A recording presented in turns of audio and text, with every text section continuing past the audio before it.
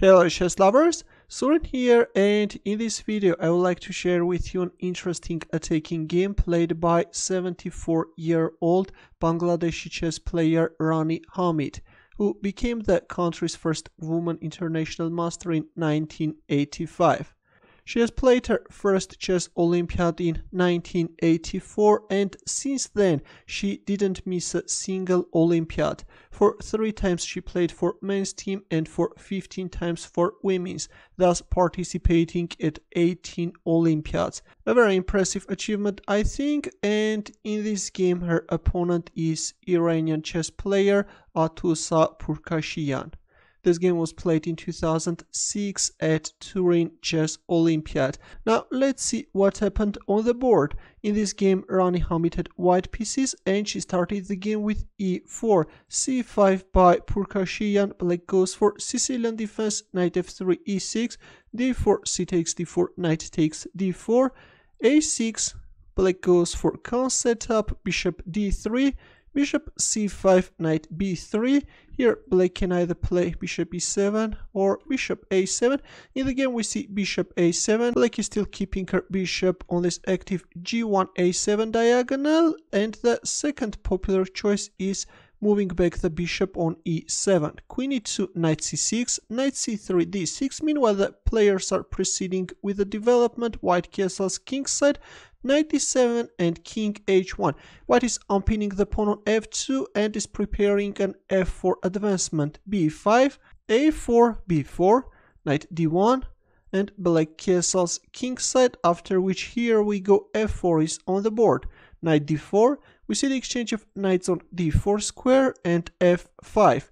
Bishop b7, queen g4. The queen is also joining the attack and right now there is too much pressure on e6 but black responded with king h8 after which white played bishop g5 although white could win a pawn by capturing on e6 and then rook takes f8 followed by queen takes e6 if knight g6 then bishop e3 no problem at all, but in the game after king h8 we see bishop g5, f6 and once this dark squared bishop provoked black to play f6, this time retreated back. He takes f5, he takes f5, right now the bishop on d4 is hanging, we see knight c6 and bishop takes b4 a simple tactical shot. If knight takes b4, then queen takes d4.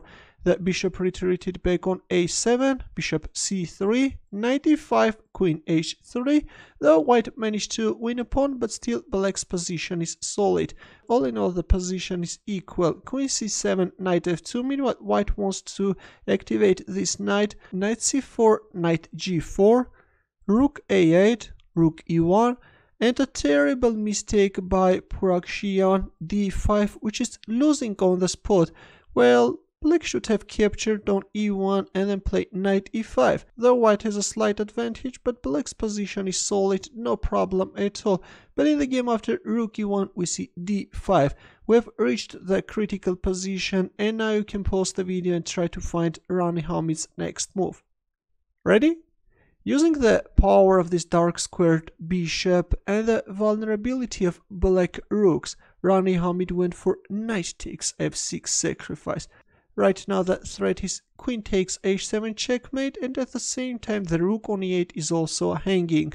g takes f6, well if h6 then simply knight takes e8 and the game is over. After knight takes f6 that's why we see g takes f6 but now comes bishop takes f6. Rook takes f6 and rook e8 check black is in trouble. King g7 queen g4 check and it turns out that there is no way out. Black king is entangled in a mating net.